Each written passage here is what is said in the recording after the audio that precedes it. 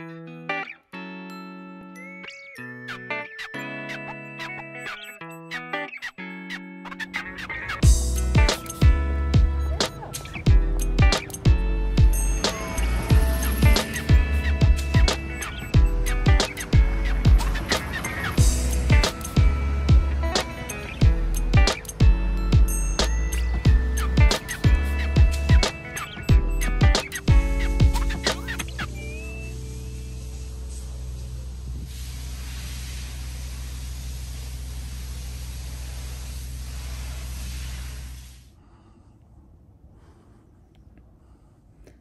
fact of the matter is that I know very little about art.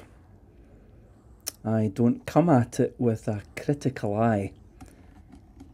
The most I know is that there are different genres, different time periods, some of which I'm drawn to, others less so. But beyond that, my response to art is very much a gut reaction certain pictures I like and others I don't. Simple as that.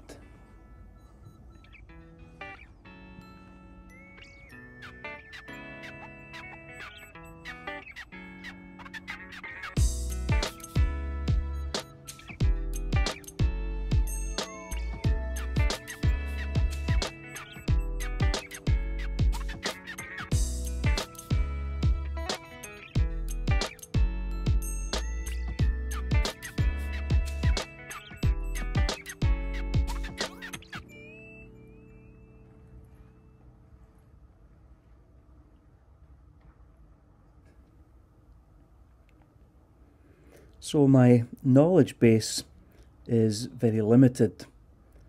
But I think I know this that to properly appreciate a painting, you've got to step back. If we're too close, it's difficult, if not impossible, to see properly. If I'm going to see the big picture, everything that the artist intended, Yes, I need to step back. It's a matter of perspective.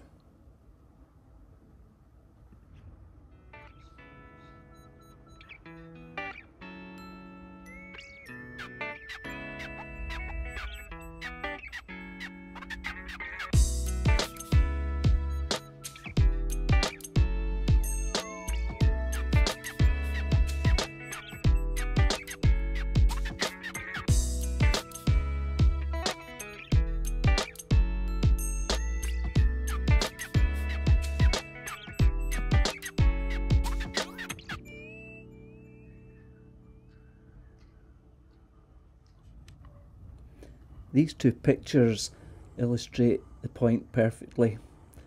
If you home right in on one particular piece of the painting, you might think it's a painting of a dog. But in fact, the dog is just a small part of something that is much bigger in scale.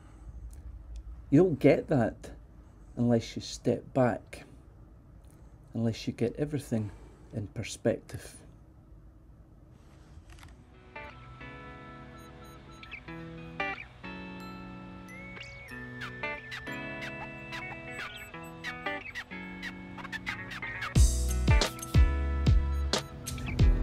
If it's true that we need to step back to fully appreciate a painting, then I'd want to suggest that it's equally true for all of life as we try to see it in its fullness and, if at all possible, make sense of it. And if you really want to begin to ponder the big questions about what's it about and where's God in all of it, then absolutely. You need to step back.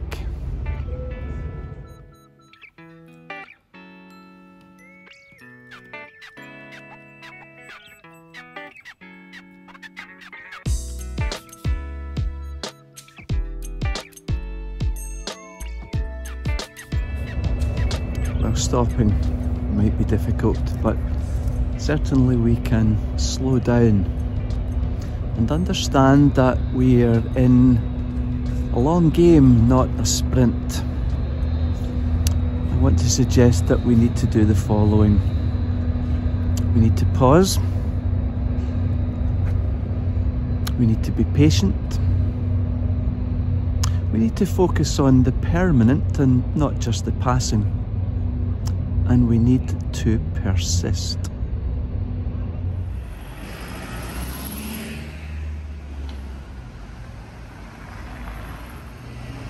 Number one, pause, which can be so difficult when life is lived at such a pace. There seems to be little time to step back. I think many folks have worked harder in these last nine months than ever before. And if not in offices and in workplaces, then from one Zoom meeting to the next. Go, go, go.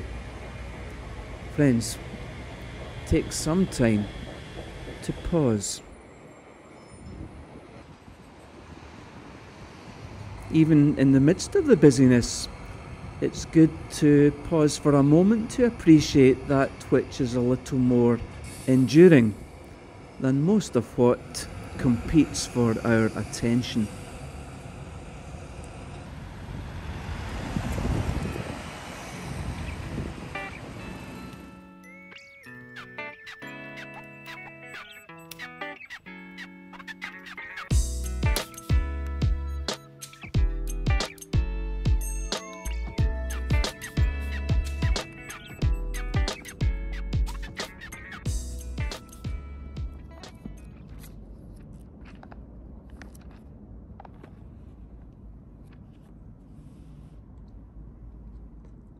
God acts.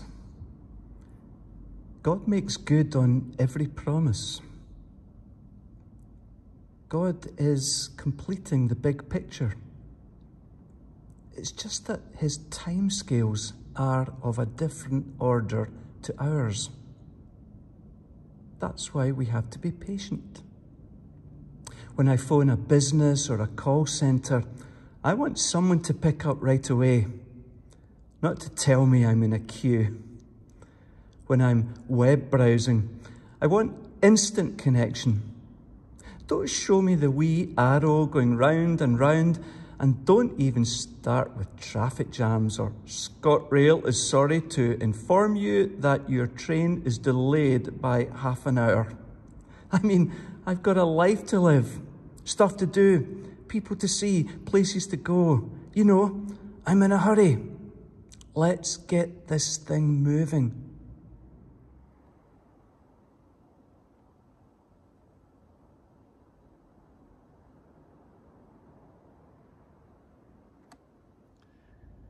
Reading the Bible, I never get the impression that God was in too much of a hurry. Think about Abram, for example. He was 75 years old when the promise was made to him, a promise repeated three times that he would be the father of a great nation. Don't you think that maybe in the 25 years between promise and fulfillment that he began to wonder if it was going to come to pass? Or what about the people of God in exile?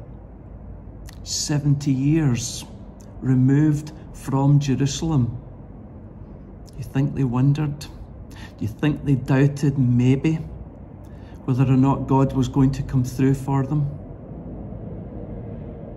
Or the thousand years between David and Jesus? No, God's not in any hurry. He's working on the big picture. And that requires us to be patient in trusting Him.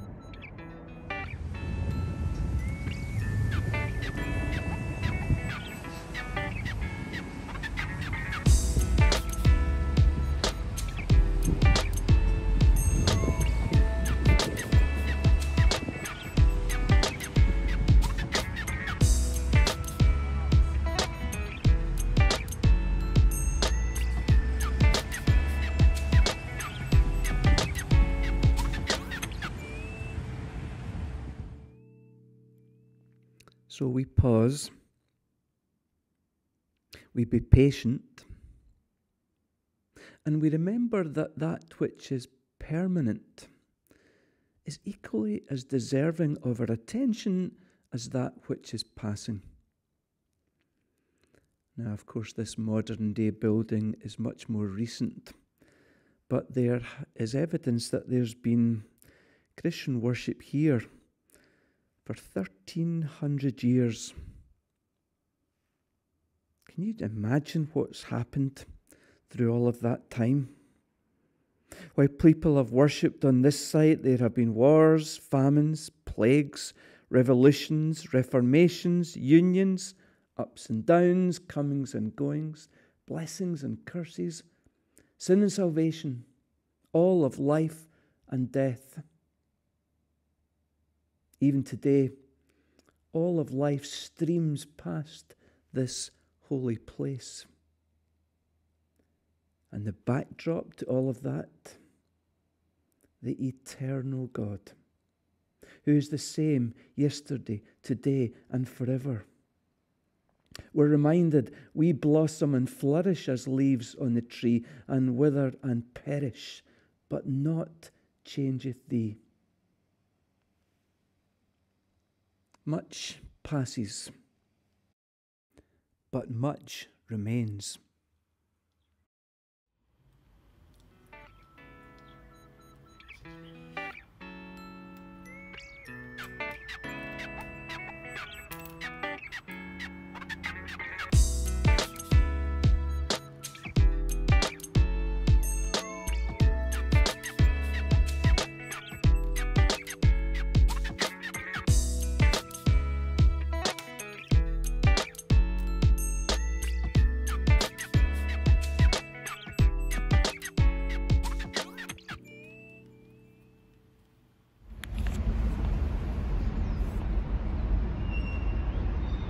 So there was Simeon, a God fearing man, waiting for the salvation of his people. How long he waited, we've no idea, but he never gave up on the promise made to him by the Spirit that he would not die before seeing the Messiah, the coming of the Lord. The grass withers, the flowers fall, but the word of the Lord endures forever. Simeon persisted.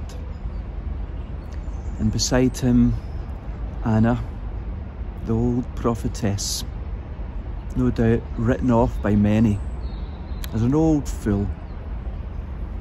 There she was, worshipping, fasting, praying, waiting, trusting that God would deliver on his promise. That's persistence.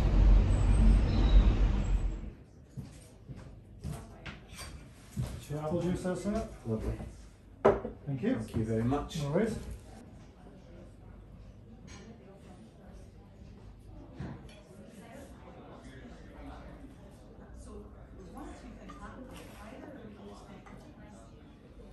Folks, the big picture is that God always keeps his word.